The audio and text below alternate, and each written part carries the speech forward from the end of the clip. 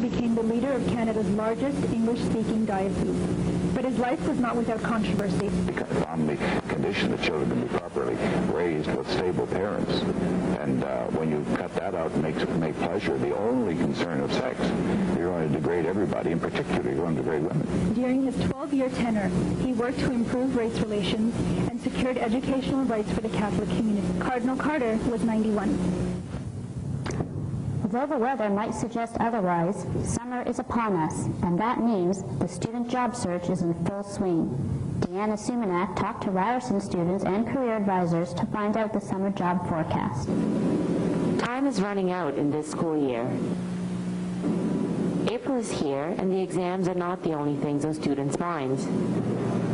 With one week of school left, finding a summer job is a priority for many students. We came here to the Ryerson Career Center to see what opportunities are out there. Aynot Locke is an employment counselor at the Ryerson Career Center. Um, I just did a quick run through Workopolis campus this morning just to see, and I was pleased to see that there are some professional types of positions. There's, of course, all kinds of government programs as well um, that students might want to check out. The center, located on the fourth floor of Jorgenson Hall, has plenty of resources, but do the students know about them? Only about a third of the students on campus are aware that there's a career center that exists to help them not only with looking for work, but the whole career planning process. Eileen Lynn, a second-year student, is the only one of her friends to use the center. I think they all know about the website already. They just don't know where this office is. The center is deserted on a Monday morning. That's because some students prefer a personal approach when looking for a job. But for this nursing student, that may not be possible. I I guess because of all the SARS things going around, um, it's really hard to get into the hospitals and try to apply to find out job postings. And then there's the old-fashioned way. So get those resumes in, and remember, it's paper clips, not staples. For JTV, this is Deanna Simonek. Ottawa hosted the 32nd Annual Juno Award last night. Here is Elizabeth Ray Collett with entertainment. Thanks, Myint. While Avril and Shania cleaned up at the Junos, Colin Farrell did the same at the box office. Here's the highlights.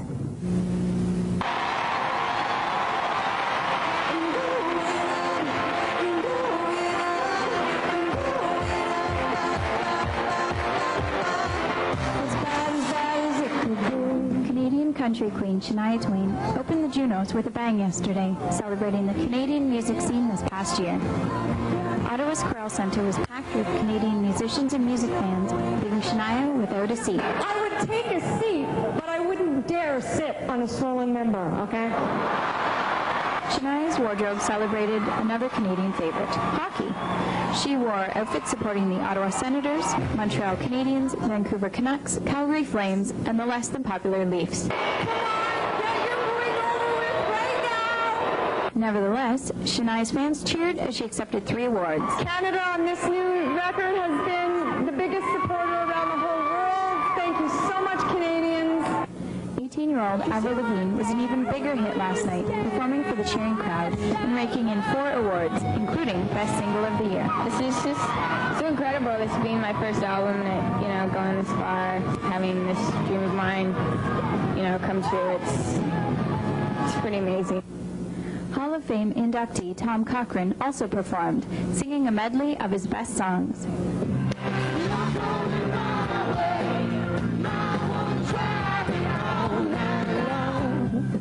Lenny Kravitz has been in the studios lately, but it will be hard to buy his music anytime soon. Radio stations and record stores won't carry his new song, We Want Peace. The only place you can get Lenny's new song is by downloading it from the website rockthevote.org. And in movie theaters this weekend, Vin Diesel's A Man Apart rushed into third place, teen comedy What a Girl Wants fell into second, and Phone Booth starring Colin Farrell was in first place, ringing up $15 million in ticket sales. How'd I get so lucky to be picked out by a killer with a rifle? You had it made. How'd we get so lucky to see you for 80 minutes straight, Colin? For entertainment news, I'm Elizabeth Ray Collett. Now back to the desk. Hamilton police officers have hit the jackpot, but not in solving a crime. Instead, the 13 officers will share the $25 million prize from Friday's Super 7 lottery. Staff sergeants may soon be looking to replace the entire unit. Well, the na- initial season is wrapping up and the Rebels are winning down. Here is Donna Bosio with the weekend sport update. Thanks, Myint. Well, it was deja vu all over again. Overall, it was a rather predictable weekend in sports, but Shania helped spice things up, and JTV Sports handed out a very special award. Yeah, Vince Carter hurt himself again last night in Jersey. With only 30 seconds left in the game and the Raptors down by nine, Carter went down with this nasty ankle sprain.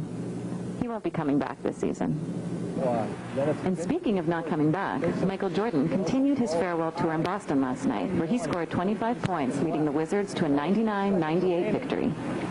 With the NHL playoffs just around the corner, everyone's getting in the mood, including proverbial puck bunny Shania Twain, who showed fantastic team spirit at last night's Juno Awards with at least four hockey-inspired outfits. On the ice, the division title slipped through the Canucks' fingers with this goal by LA Kings forward Mikko Eloranta. And at the Brazilian Grand Prix, more gratuitous car crashes. Yay! Oh no, my $10 million car is on fire. And finally, winner of this year's JTV News Most Horrifying Sportscaster Award, Mr. John Gallagher. Watch as he scares the little children. Ping! Wipe that face off your head.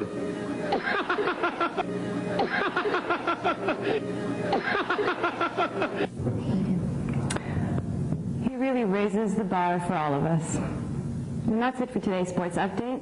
I'm Dana Borsia, now back to the desk. It's the beginning of April, and instead of basking in the sun, Ryerson students are bundling up to deal with more snow and more cold. Monica Verma reports. For the beginning of April, temperatures are normally in the double digits. But today, it's minus 2 degrees Celsius. Even though the spring season has officially begun, the streets of Toronto are frigid and bleak. It may be a while before we can enjoy a bike ride in the park.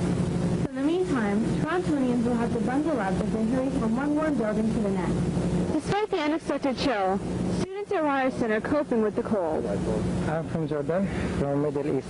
Yeah. So I guess you're not used to this weather? Yes, uh, but I start now uh, getting, you know, uh, familiar with this environment here, especially the cold. So yeah, that's what I'm doing now. But how do you feel about it being snowing in April? Don't know why everyone acts surprised for. It's like every year this happens. There's like a little bit of sunshine, the next thing you know, a whole bunch of snow comes and everyone's disappointed, but it'll go away in like a week or so. Not enjoying it at all. It doesn't look like April. It's a freaking February compared to what it was like earlier this winter. It's still okay. I mean, I can pretty much move around throughout the school without having to go outside, but whenever I do go outside, it makes me a little upset just because it's so cold. It's, it's hard to get around when you're freezing. Normally, these benches would be filled with students sitting for exams, but today, students have opted for the warmth of the library. For JTV News, I'm Monica Verma. And that's our program for today. For all of us here at JTV News, thank you for watching.